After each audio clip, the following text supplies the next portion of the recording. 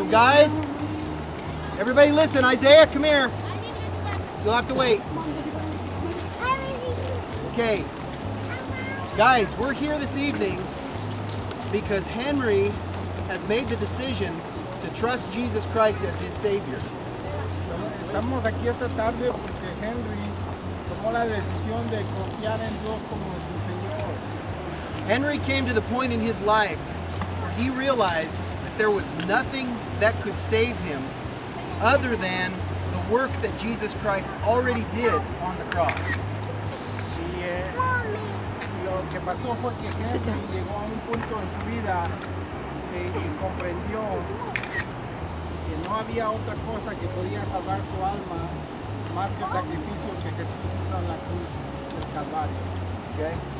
So, so Henry made the decision to, to trust Christ as Savior, and he realized that his sin, before he trusted Christ as Savior, kept him separate from God. There was nothing he could do because at that point he was God's enemy. Entonces él vio que, que por su pecado, por la maldad que había en él, él no podía acercarse a Dios.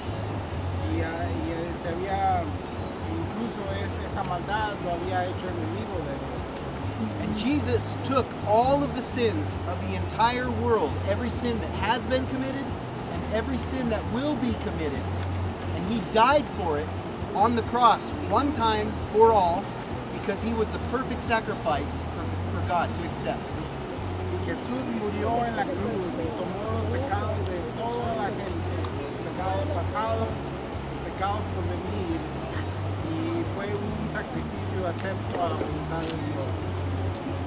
So, Henry, let me ask you this. Have you put your trust in Jesus Christ as the only thing that can save you from your sin and bring you back in- into a relationship with God? Has, has puesto tu confianza en Dios. Ya has confiado en Dios como el único Señor y Salvador de tu vida. Okay. What we're gonna do now is we're gonna I'm gonna take him down into the river. I'm gonna take him down into the river and we're gonna baptize him. Now, when we baptize somebody, the Bible says that the reason why we baptize them is because he has identified with Christ's death, and so we put him under the water. His burial, Jesus was put in the, the tomb for three days, and then he was raised again to life. And the water symbolizes the washing of Henry's sin away. It doesn't wash it away, but it symbolizes, it shows what God has already done through Jesus and him.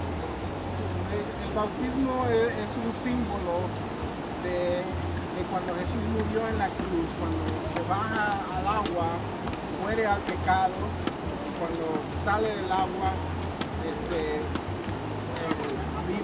salvación.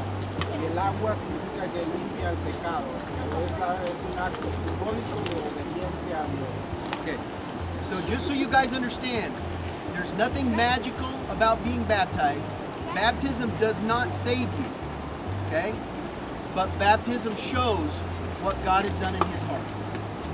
Y, y el bautismo es un acto simbólico, no, no, no quiere decir que porque se bautiza va a entrar al cielo, no es eso, sino que es, es un acto de obediencia a la voluntad de Dios. Okay. So, so we're gonna go in the water and, and baptize and baptize Henry. So Henry. Vamos a ir al agua y bautizarlo. I'll grab you like this. Okay.